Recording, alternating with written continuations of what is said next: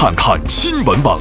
好，说到六月十五号呢，东方卫视大型的旅行类真人秀节目《花样爷爷》呢就要闪亮登场了。那今天一早呢，四位爷爷已经完成了在欧洲的节目录制，凯旋而归了。洋气啊！刚刚抵达上海的牛奔和雷洛生两位爷爷呢，立马是马不停蹄的出席了这个发布会。是虽然一路舟车劳顿，但是两位老爷子看上去特别的神采奕奕，在现场呢还给咱们爆料了不少旅行的小秘闻。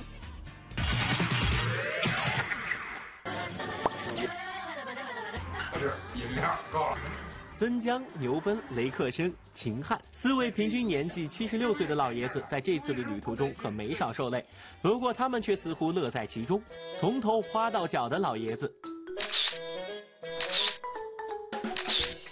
花样爷爷，衣服是一天一换。对我来说，我感觉不是一般的花，很花那衣服。能够成为花样爷爷的，首先要从行头上花起来。衣服一天一套那是必须的，就连牛老爷子头上的帽子也就不下七顶了。可能这个戏穿的衣服比我一辈子的穿的衣服还多。时髦是时髦了，可是要穿出这样自然的感觉，爷爷们愣是适应了好久。还好到最后，老爷子们都爱上了这身潮范儿。所以最后呢，我们也都适应了，穿着也很舒服了。甚至我昨天要是不把它好好脱下来的，我都不愿意脱下来了。那个我还保留袜子没来得及换呢。哎，还是我们这服装的袜子。我说你们就这袜子时尚。牛脾气的老爷子。呃，今天媒体大概都是我们上海的媒体，全国的，全国的，全国都有，全国都有了。啊，您放心吧。那我们这说话还得当心点他说什么，我们基本上就哦哦哦哦哦哦。啊。能够让牛奔这样小心翼翼，又让雷克申这么服服帖帖，正是这次旅行中的老大曾江。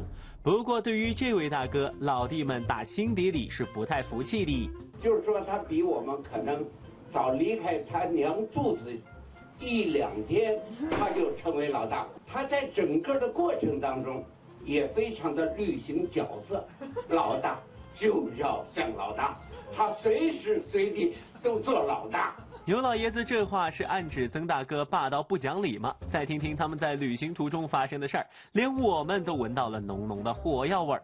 哎呦，我们在海里边地中海钓的鱼，回来呢，牛奔的厨厨艺比较好，嗯，他就晚上秀他要做，嗯，正在做的过程当中，老大就洗了脏手，拿肥皂就洗，洗就下边就是鱼，是肥皂，他就急了，他说这怎么能洗手啊？洗你脏手，这鱼腥味怎么吃啊？嗯。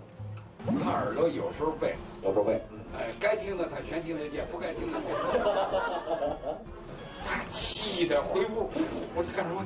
他干那洗脚呢。我说啊，他那我也不做，我也不吃，我也不做。